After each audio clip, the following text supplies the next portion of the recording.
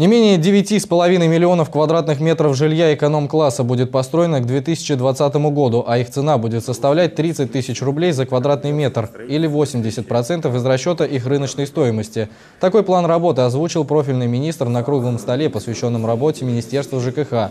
Также, по словам Дмитрия Тепина, сегодня на территории региона выпускается несколько видов утеплителей – пустотных плит, железобетонных конструкций нового типа. А также осваиваются земельные участки как под строительство жилых комплексов, так и для возведения заводов для производства новых материалов. С 2010 года увеличены в оборот 15 федеральных земельных участков общей площадью 511 гектаров. Один из них, 28 га, на сегодняшний день представлен как раз под строительство объектов по производству строительных материалов.